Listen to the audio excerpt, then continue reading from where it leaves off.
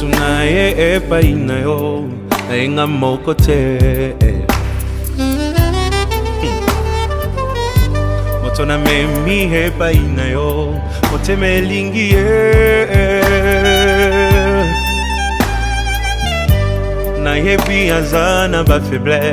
qui me fait e. mal au cœur c'est parfois insupportable qui fait mal à la tête même le Saint-Esprit mais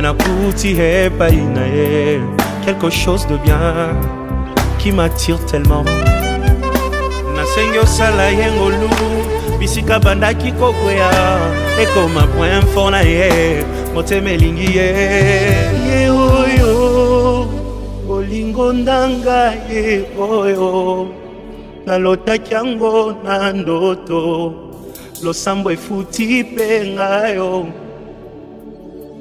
ye oyo kobomba esili ye oyo ata bambonge ye oyo e elamba yango yango oyo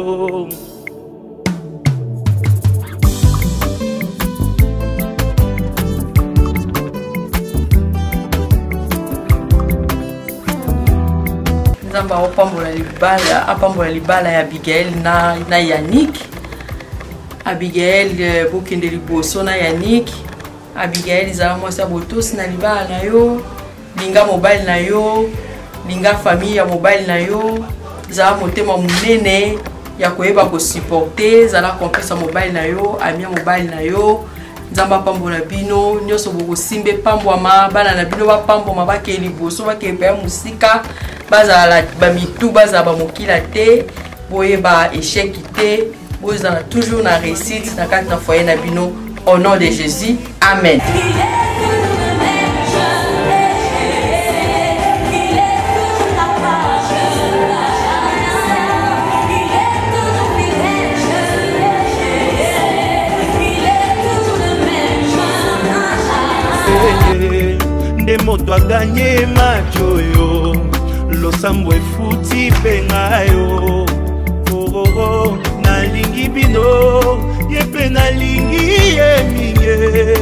aza motuya mpo na ngai kosunga poto umela ye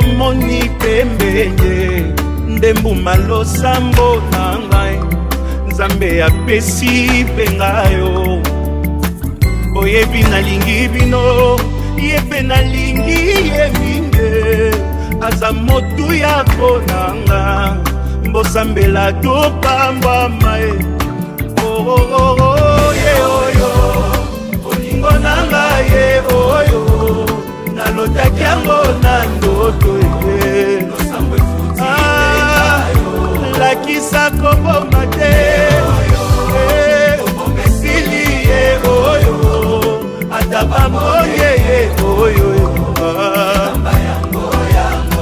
moto akotika te akende ye oyo ya kotika te alela ye oyo moto akolengela ye oyo nzambe apesi moto akomema na fami moto ya koyokela ye oyo mokolo nakovwama kaka ye moto nga nalingi ye oyo baninga boyoka ye moto bolukaki ye aleki bango nyonso ye oyo moto aselisanga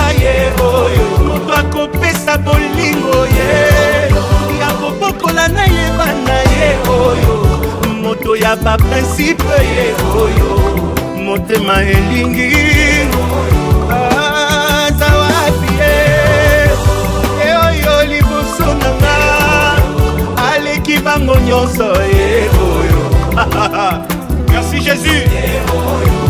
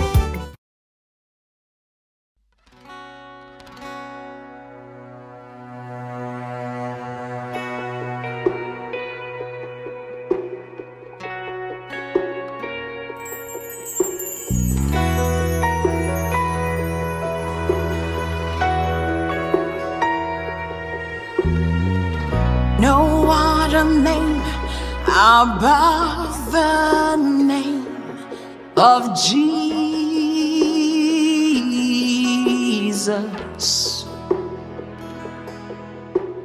Yesterday, today, forever, Jesus.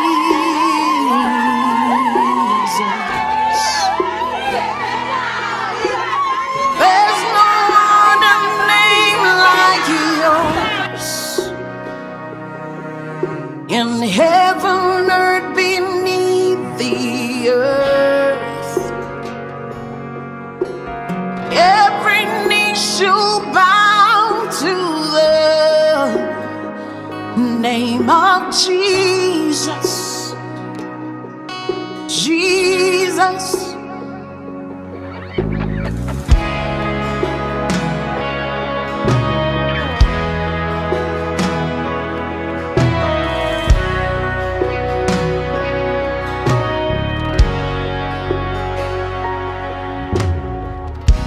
what a name that heals all pain.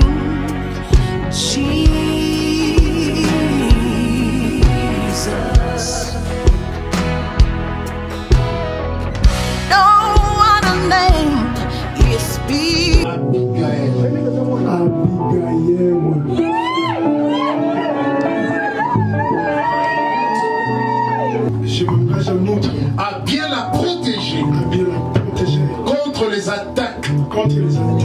provenant de l'extérieur de mon foyer. De l'extérieur de mon foyer. 2019. 2019. Moi, Nézi Ekofo. Moi, Nézi Ekofo. J'accepte. J'accepte. D'être l'épouse. D'être l'épouse. De Yannick ma vie. De Yannick ma vie. Et mon foyer. Contre les attaques. Contre les attaques. Provenant de l'extérieur. Provenant de l'extérieur. De mon foyer. De mon foyer. Regarde-le maintenant.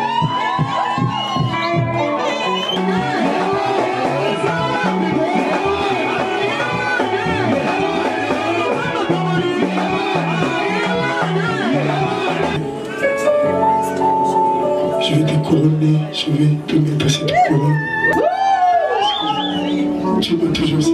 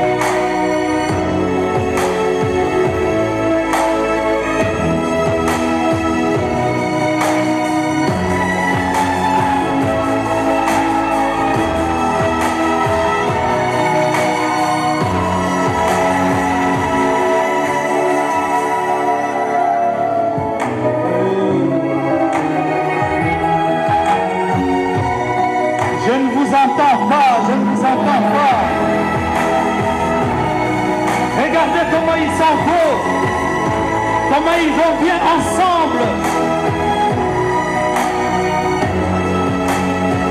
C'est officiel.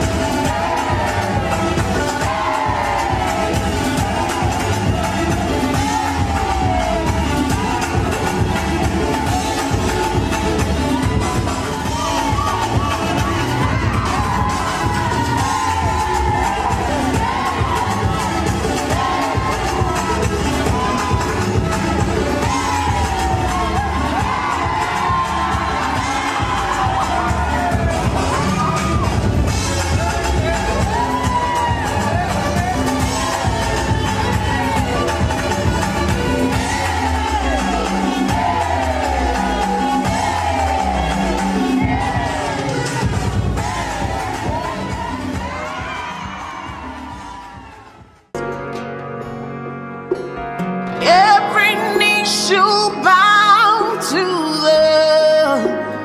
the name of Jesus. Jesus.